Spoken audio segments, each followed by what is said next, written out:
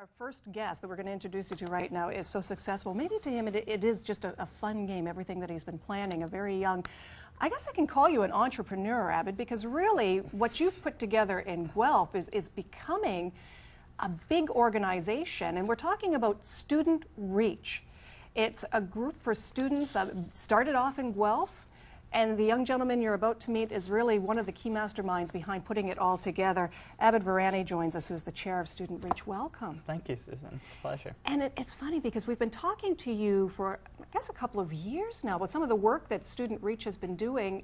And this is an organization that continues to grow and continues to grow to the point that now you're looking at it becoming its own corporation. That's exciting. Yeah, it's one of those, uh, initially when you started it up, it was, you know, we're trying to send the message to people, talk to people, introduce the idea to them.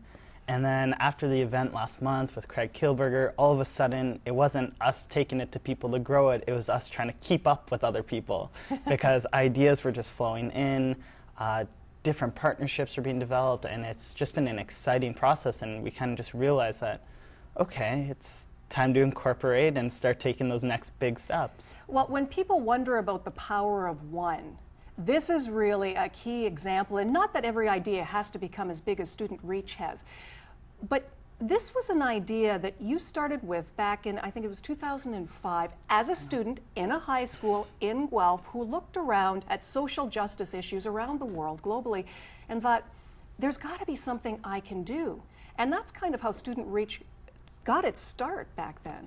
Yeah, and even though that's kind of where it started, that's also the idea behind the entire organization is that a student can simply say, I want to make a difference, and there's different opportunities for them to actually do so. And uh, just yesterday, I was at Aberfoyle receiving a gift from the school as a donation, and it was simply a group of students saw the benefit, they saw what Student Reach was about, and they wanted to put something together and they just went through the steps, fundraised money, and had a cause to give it towards. And that it's that refreshing that anybody, whether it's elementary school, whether it's high school, whether it's university, they are able to, and they're passionate about it while they do so. Well, it's able to is part of it, but the willingness to do it and the eagerness to do it is, is what separates the sheep from the goats. You know? Yeah, I think most students and even adults are willing and eager to do it. I think often it's simply that it's not as easy as they might realize. You know, we talk about how easy it is to reach out, where it doesn't have to be something extravagant. Yeah. You know, you can pick up a can and recycle it, or mm-hmm. open the door for a stranger. These are all different ways of reaching out to an individual.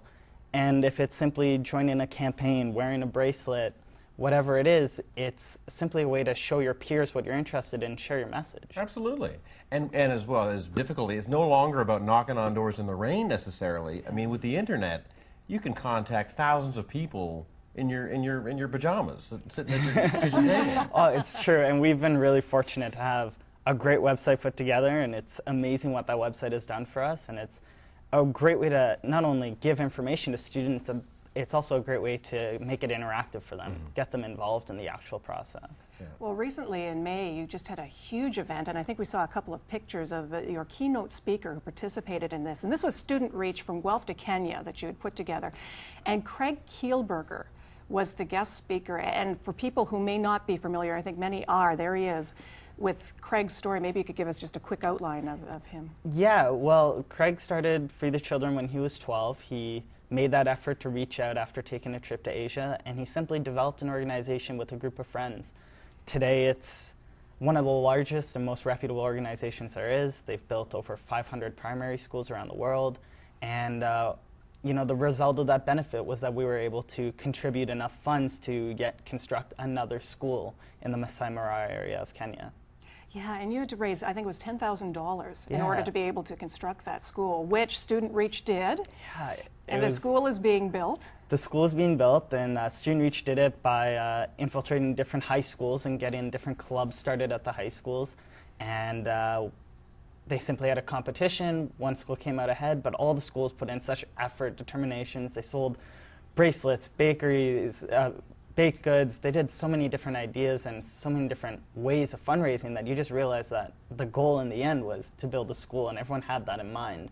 And how they got to it was uh, really special to see that every student got there a different way, but they still managed to get to the same result. And you've got to see the ascent of it just being hyperbolic. It's the, the more it goes, the better it goes, the faster it goes, the higher it goes. And now that you're going to be incorporated, it's just going to. Yeah, and you know what, that's the hope. We've started running workshops at elementary schools. We're sending out packages with Engineers Without Borders to the Waterloo, Kitchener, Guelph, Cambridge region. In August, we've also started public speaking. I've been invited to a school in Montreal next September. Lots of different exciting things are just kind of throwing themselves our way now. And But in the meantime, if you're trying to get in touch with Abid during the summertime, it might be a little bit difficult because he's going to be traveling. You yourself going on, it's like a work placement for the summer to Tanzania? Yeah, I am. Uh, I'm taking a stop in Uganda on the way to visit some own family areas that I, my parents haven't gone back to in over 30 years, and then I'll be working at a primary school in Tanzania for uh, six weeks. And it's, you know, a simple way to put it is I'm 80 kilometers away from the closest ATM machine.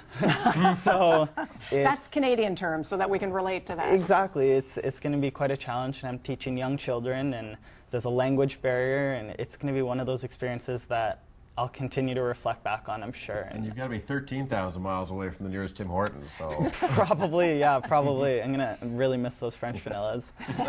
But when you come back, take lots of pictures and join us again so that we can talk a little bit about your trip and all the great things that are happening for Student Reach. Uh, in the meantime, if you want to find out more, or maybe you're a corporation who's looking to jump on board with Student Reach right now, the website is the best way to get in touch with them, and there it is right there. Congratulations, Abid, for all the great work that you've done, and have an exciting summer in Tanzania. Thank you, learning Susan. Swahili. Precisely. Thank you. How would you say thank you in Swahili? Asante. Asante. There we go, asante.